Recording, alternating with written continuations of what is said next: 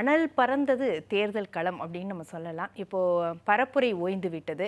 ஆனால் இந்த தேர்தல் களத்தில் முக்கியமான மையப்பொருளாக இருந்தது எது? அது தேர்தல் களம் சூடு பிடிப்பதற்கு முன்னாலே தேர்தல் கூட்டணி ஒரு முக்கியமான பங்கு. இன்றைக்கி அதிமுக தலைமையில் இருக்கிற அந்த கூட்டணி அவரோடு சேர்ந்து இருக்கிறவர்கள் ரெண்டு பக்கம் பேசிகிட்டு இருந்தாங்க. பாஜக தலைமையில் இருக்கிற என்டிஏ கூட்டணியோடும் பேசினாங்க. அதே நேரத்தில் அதிமுகவோட பேசினாங்க.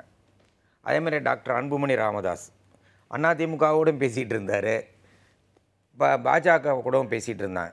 ஆனால் கூட்டணி அமையும் போது வேற மாதிரி அமைஞ்சிருக்கு. இவங்க எல்லாருமே தரப்புலையும் எல்லா முறையும் நடக்கிறது தானே? இல்ல இல்ல இல்ல. ஒவ்வொரு ஒரே தேர்தல்லையுமே இந்த simultaneous-ஆ மாதிரி இல்ல. ஆனா நீ பார்த்தீங்கன்னா. திராவிட முன்னேற்ற கழகத்தின் தலைமையில் இருக்கிற இந்தியா கூட்டணி அது மாதிரி இல்லை. ரெண்டாயிரத்தி பதினாலில் இருந்து தொடர்ந்து அவங்க பயணித்து கொண்டிருக்கிறார்கள். மாறாக ரெண்டாயிரத்தி பத்தொன்பதுல ரெண்டாயிரத்தி பத்தொம்போதுல அதுல ரெண்டாயிரத்தி பதினாலில் இருந்தாங்க ரெண்டாயிரத்தி இருபத்தி ஒன்றில் இருந்தாங்க. பஞ்சாயத்து தேர்தலில் இருந்தாங்க. ஆனா ரெண்டாயிரத்தி பதினாறு சட்டப்பேரவை தேர்தல்ல மாறுச்சுல்ல? ஆமாம் அது மாறுச்சு? மாறுச்சு. அதற்கு பிறகு நாடாளுமன்ற தேர்தல்ல. இல்ல, ரெண்டாயிரத்தி பதினாலு நாடாளுமன்ற தேர்தல் ரெண்டாயிரத்தி பதினாறு சட்டமன்ற தேர்தல். அதில் வந்து திமுக அணி அன்னைக்கே சேர்ந்து தான் இருந்தாங்க. ஆனால் வெற்றி பெறலை அது வேறு விஷயம். ஆனால் அதில் இருந்து தொடர்ந்து இருந்துக்கிட்டு இருக்காங்க. அந்த சட்ட இந்த பாராளுமன்ற தேர்தல் முடிவுகளெல்லாம் வந்து அதாவது கூட்டணிலாம் முடிவு செய்ததற்கு பிறகு பல அதாவது இண்டிவிஜுவல் ஆர்கனைசேஷன் சொல்லுவோம் அல்லது social organisations communal organisations AIADMK பக்கம் இருந்த அதாவது ஒரு நடிகர் அவர் வந்து மாறி வந்திருக்காரு. கமலஹாசன் அவர் வந்து தனியாக நின்னார். தனியாக நின்று சில இடங்களில் எண்பத்தஞ்சாயிரம் ஒரு லட்சம் வாக்குகள் வாங்கினார் பாராளுமன்ற தேர்தலில் இன்றைக்கி அவரும் இந்த பக்கம் வந்திருக்காரு. அதே மாதிரி தமிமுன் அன்சாரின்னு அவர் மனிதநேய மக்கள் கட்சியிலேருந்து பிரிஞ்சு போய் அதிமுக கூட்டணியில் இருந்தவர். அவரும் பிரிஞ்சு வந்திருக்கிறார்.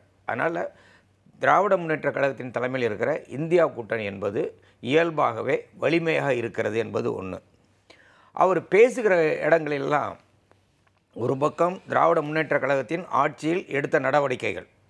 மகளிர் இலவச பேருந்து மகளிருக்காக ஆயிரம் உதவி மகளிர் படிக்க போனால் ஆயிரம் ரூபாய் இப்பொழுது மாணவர்கள் படி கல்லூரிக்கு படிக்க போனால் ஆயிரம் ரூபாய் அது மாதிரி பல விஷயங்கள் பேசினாலும் அவர் ஒரு விஷயத்தை தெளிவாக பேசுகிறார் இன்றைக்கி நடைபெறுகிற தேர்தல் என்பது வெறும் தேர்தல் அல்ல.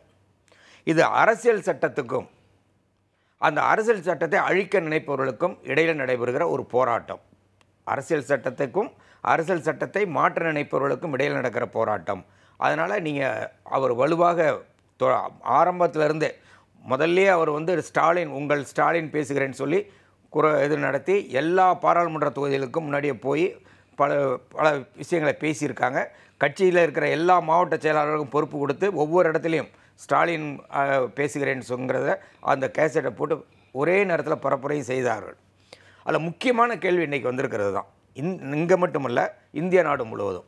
அதாவது ராமர் கோயில் கட்டினால் அதனால் மோடி அவர்களுடைய புகழ் உச்சத்துக்கு போகும். அதனால் அவர் மறுபடியும் ஆட்சிக்கு வருவார் என்று எல்லாரும் எதிர்பார்த்தோம். அவர் அதனால் ஜனவரி இருபத்தி ரெண்டே அவர் இப்போ தேர்தல் பரப்புரை தொடங்கி விட்டார் என்றே சொல்லலாம். ராம்லல்லாவுக்கு அவர் ப இடத்துக்கு போகிறது அதெல்லாம். நான் அந்த இதுக்கு போகல ஆனால் இன்றைக்கி களமே மாறி இருக்கிறது. இன்றைக்கி பல்வேறு விதமான ஆய்வு கருத்துக்கள் வந்து கொண்டிருக்கிறது. சாதாரண மக்களிடம் போய் பேசுகிறார்கள். கிட்டத்தட்ட தொண்ணூற்றி ஏழு கோடி பேர் வாக்காளர் என்று சொன்னால் அதில் ஐம்பது சதவீத வாக்காளர்களிடம் பே என்ன உரையாடி இருக்காங்கன்னா இந்த தேர்தலில் உங்களுக்கு முக்கியமான ப- பிரச்சனை என்ன? எழுபத்தி ஆறு சதவீதம் சொல்லியிருப்பது வேலையில்லா திண்டாட்டம். ஐம்பத்தஞ்சு சதவீதம் சொல்லியிருப்பது ஊழல். அதுக்கு அடுத்தது அறுபத்தஞ்சு சதவீதம் சொல்லியிருப்பது விலைவாசி உயர்வு. அதாவது ராமரை பின்னுக்கு தெரியல ராமரை இப்போ வந்து முக்கியமான இல்லையா? அயோத்தியை பற்றி என்ன சொல்கிறீங்க ராமர் கோயில் கட்டியிருக்காருன்னு சொன்னால் அது ரெண்டு பர்சன்ட் ராமர் கோயில் கட்டினதுக்கும் எட்டு பர்சன்ட் அயோத்தியில் கோயில் கட்டினதுக்கும் ஆதரவு தெரிவித்திருக்கிறார். ஆக மொத்தம் இந்திய நாட்டில் வேலையில்லா திண்டாட்டமும் பணவீக்கம் அல்லது விலைவாசி உயர்வு இப்படிப்பட்ட விஷயங்களும் அரசியல் சட்டத்துக்கு வந்திருக்கிற ஆபத்தை காப்பது என்பதுதான் இன்றைக்கு தேர்தலில் முன்னாடி இருக்கிற பிரச்சனையாக மாறி தமிழ்நாட்டின் தேர்தல் களத்தில் தமிழ்நாட்டின் தேர்தல் களத்திலும் தமிழ்நாட்டின் விஷயங்கள்லாம் எதிரொலித்தது? தமிழ்நாட்டின் தேர்தல் களத்திலும் எதிரொலித்தது. தமிழ்நாட்டின் தேர்தல் களத்திலும் எதிரொலித்தது.